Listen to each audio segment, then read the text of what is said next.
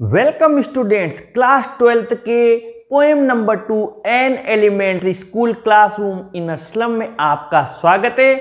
आज हमने आपकी स्टेंजा सिक्स का वीडियो प्रिपेयर किया है। इसमें आपके रेफरेंस कॉन्टेक्स्ट और एक्सप्लेनेशन के साथ क्वेश्चन आंसर्स भी प्रिपेयर किए हैं।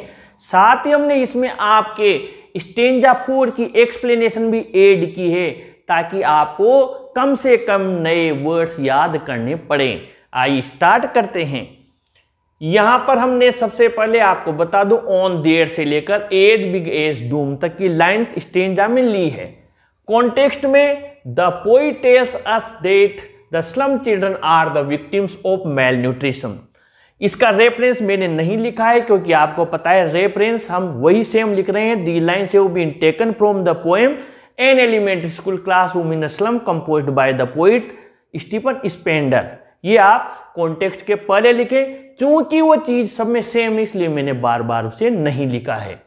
कवि कहता है कि गंदी बस्ती के बच्चे विक्टिम्स हैं। विक्टिम्स का मतलब शिकार हैं। किसके? मेल न्यूट्रिशन यानी कुपोषण के। कुपोषण एक बीमारी है जो कि कमज़ोर बच्चों में कम खान पान जिनका होता है खान पान अच्छा नहीं होता है, उनको होती है। They are thin and weak in body वे शरीर से बहुत पतले हैं और वीक यानी बहुत कमज़ोर है।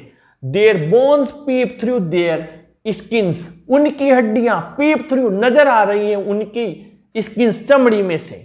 They also wear cheap and mended steel framed glasses way wear पहनते हैं चीप सस्ते एंड मैंडेड यानी मरम्मत किए हुए।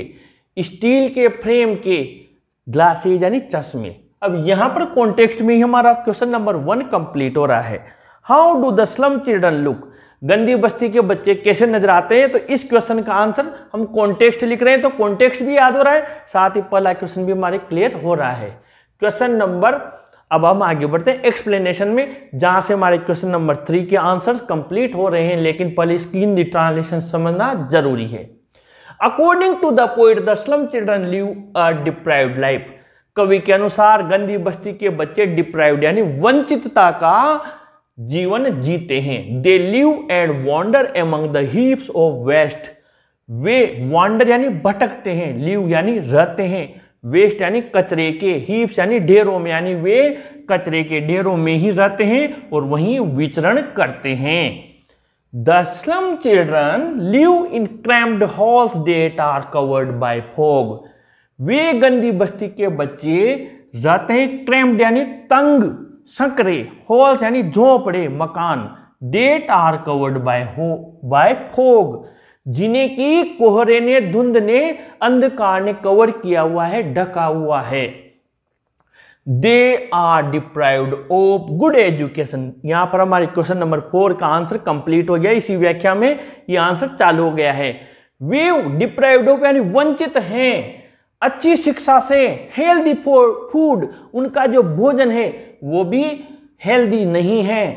एंड देयर और इसीलिए सफ़र फ्रॉम मैनी डिजीजेज वे कई सारी डिज़ीज़ बीमारियों से सफ़र करते हैं, पीड़ित रहते हैं, ग्रसित रहते हैं। मेल न्यूट्रिशन मेल न्यूट्रिशन कुपोषण मैक्स देम स्टंटेड कुपोषण की वजह से वे स्टंटेड हो गए हैं। स्टंटेड का मतलब होता है अनडेवलप्ड अविकसित हो गए हैं। Their bones look through their skin उनकी हड्डियाँ, उनकी चमड़ी में से साफ़ नज़र आती हैं। Question number four what is peeping through their wear skin उनकी चमड़ी में से क्या नज़र आ रहा है? उनकी हड्डियाँ नज़र आ रही है। और ये शॉर्ट आंसर टाइप है। और ये व्याख्या में यहाँ से लेकर यहाँ तक इसका आंसर भी साथ ही कंप्लीट हो रहा है। They are so poor that they have to wear repaired spectacles with broken glasses वे इतने गरीब हैं कि उन्हें वियर पहनने पड़ रहे हैं। रिपेयर्ड यानी मरम्मत किए हुए स्पेक्टेकल्स यानी चश्मे विद ब्रोकन ग्लासेज जिनके कांच भी ब्रोकन टूटे हुए हैं। The poet wants the maps to be bloated with slums because for these slum children this map that shows all the good things of life is not their world? यहाँ पर question number two का answer हमारे complete हो रहा है। आप question number two समझ लीजिए। Why does the poet want the maps to be bloated with slums कवि क्यों चाहता है कि ये जो मानचित्र हैं, इन्हें स्लम्स यानी गंदी बस्तियों से ब्लोट कर देना चाहिए?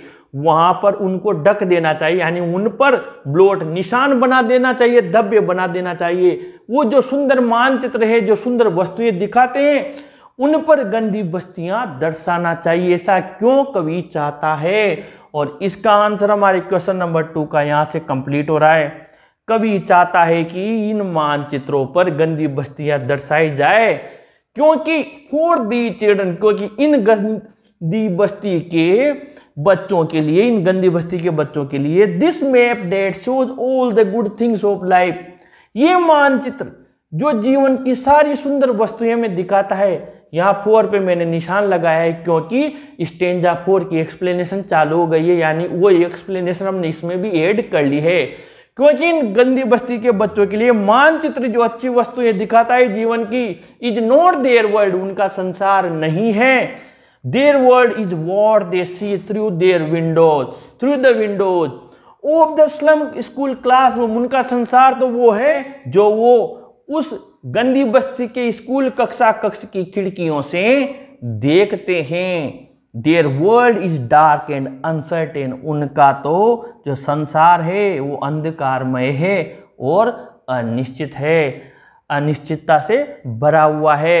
अब यहाँ पर question number three long answer type में और इसी का में एक और क्वेश्चन है। What kind of world the slum children live in किस प्रकार के संसार में गंदी बस्ती के बच्चे रहते हैं? और the slum children live a life of deprivation explain गंदी बस्ती के बच्चे वंचितता का जीवन जीते हैं, स्पष्ट कीजिए। दोनों आपको कम से कम 80 वर्ड्स में लिख कर आने हैं और इनका आंसर आपको टेंशन की ज़रूरत नहीं है। इसी व्याख्या में हमने निकाल लिया, यहाँ से लेकर यहाँ तक, जिसमें आपकी स्टेंजापोर की व्याख्या भी हमने ऐड कर दिए और ये आपके आंसर कंप्लीट हो गया। इस प्रकार रेफरेंस कॉन्टेक्स्ट एक्सप्लेनेशन और इसके सारे क्वेश्चन आंसर हमने कंप्लीट किए। अगले पार्ट में आपसे फिर मुलाकात होगी। इस वीडियो को अपने फ्रेंड्स को भी शेयर करें लाइक ज़रूर करें, और अपने चैनल को भी सब्सक्राइब करें फ्रेंड्स थैंक यू